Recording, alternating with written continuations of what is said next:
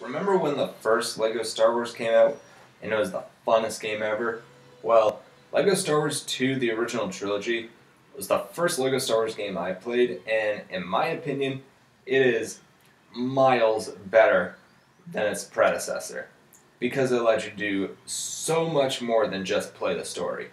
It gave you extra missions separate from the story, allowed you to create your own character, and when you hit 100%, like, you know, 100%ing the game, you're rewarded with a fountain of infinite studs. And because I love this game so much, I will basically do the same list that I did with the first game, where I rank all 18 levels from worst to best. And just like last time, you may be surprised with my rankings of each level. And depending on how this goes, I might also break this up into two parts. But either way, let's get right into the video, shall we?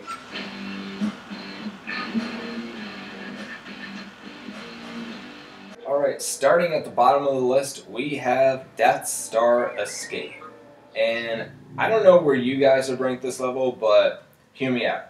When I was a kid, I thought this level was pretty impossible in the beginning because I didn't know how to solve the first puzzle, but once I finally solved it, I thought to myself, please, Lord, no more difficult puzzles ever again.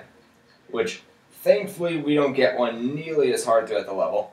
However, when you unlock a few doors, you get bombarded with stormtroopers, and the rest of the level is just ambush after ambush after ambush. And it gets super annoying because it just makes this level so much harder than it has to be, and you'll see yourself dying way more than in any other level. For those reasons, this had to be my pick for the worst level in the entire game.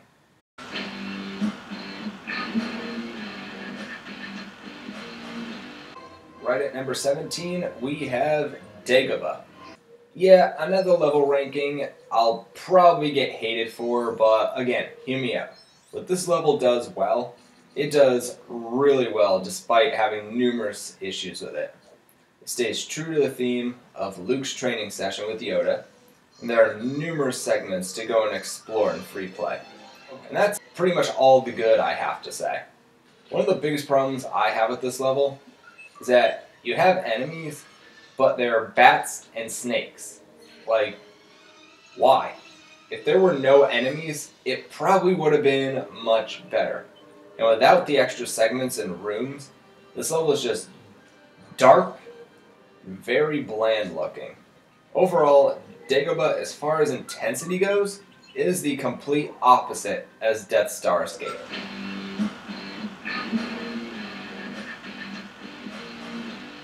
At number 16, we have Falcon Flight. And yeah, out of all the spaceship levels in this game, this is probably the most underwhelming one in the game. All you really do is destroy asteroids and fly around trying to avoid, avoid as many enemies as you can. This level has very little substance. Like, yeah, you can access some TIE fighter doors, but you basically collect mini kits the exact same way. Like, you basically just destroy stuff. And if I was to list one good moment in this level, is that you get to go inside the giant worm and enter double score zone. Other than that, this level is just dull and boring with not much to do.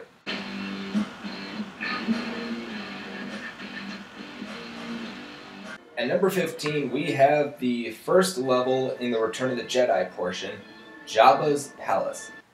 While I will say that the design and layout of this level is absolutely fantastic, where it loses lots of points for me is that it's a very lengthy level, and it may not be as lengthy as Battle of Endor, but at least that level has lots of substance. This level, you really can't do much in it and it's just very boring, especially in free play. And the Rancor fight, it's highly underwhelming, and yeah, that basically pretty much just sums up this entire level. It is just boring and dull.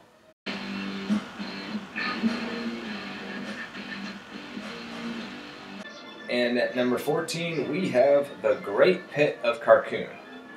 Okay, so I would say this is the first level of this list that I actually enjoy playing, despite being ranked so low.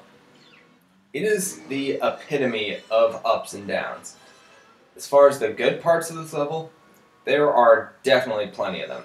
The puzzles are clever. It's not overly frustrating, but not too easy either. The extra activities to do on and inside Jabba Ship are very fun, and the overall design of this level is phenomenal. Where I don't like this level is how hectic it can get. Yeah, this level can be about as bad of ambushes as the Death Star escape level. And you have different types of enemies too, which makes this even more challenging. Especially at the very last segment, where it gets super difficult to get up to the big machine gun, where you can uh, end the mission once and for all. But other than that, it's a pretty fun level, especially since right in the middle, you can actually throw a dance party.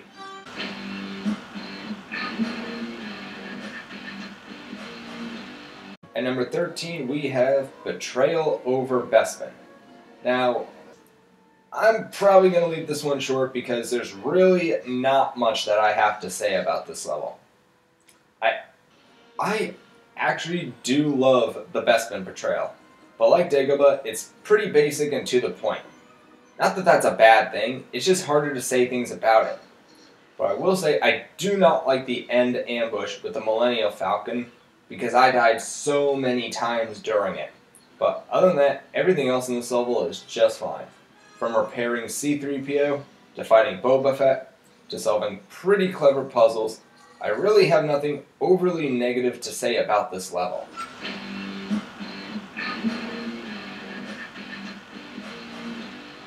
Alright, coming in number 12, we have Rescue the Princess.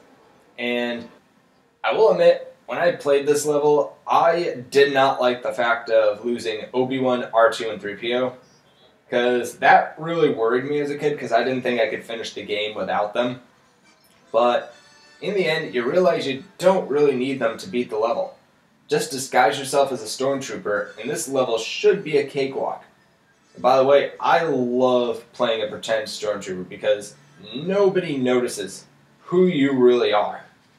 And as far as the level goes, it's a really fun level as far as action and substance. My favorite part, personally, is when you enter the last elevator and you get to enter gun chambers and shoot down TIE fighters. Shoot down 10 and you get lots of money. And I think a mini kit, but I'm not sure. I'd have to go back and play. And you get to visit a giant hot tub in the Death Star and disrupt the party. Overall, this level has enough elements to keep you wanting to play it over and over again. I most certainly did.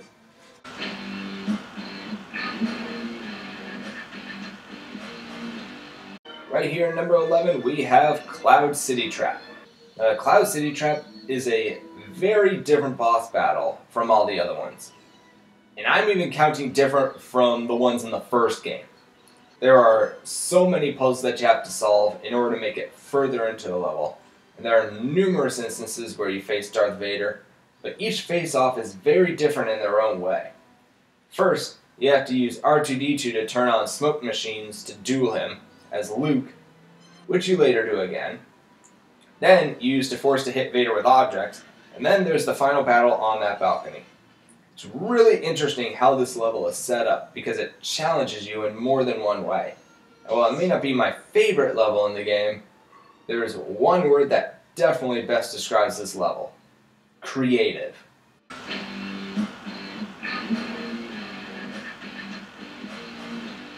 Alright, at the top of the bottom half, we have the Battle of Endor. This level honestly has so much to do and is very long, so I'll try not to go overboard with this one.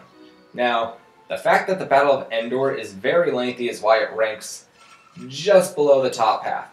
However, this level has got so much going for it, to the point where you will not be bored. You get to use a wide variety of characters and their abilities throughout the story, and the objectives are very creative, but in free play you can do so much more. The fight with the AT-ST walkers is epic, and as much as it should look like a mess, it is very organized and easy to get through. The puzzle in that Imperial bunker is super fun, and I just love the overall atmosphere of this level. Even in story mode, this level gives you tons of activities to do, aside from story activities.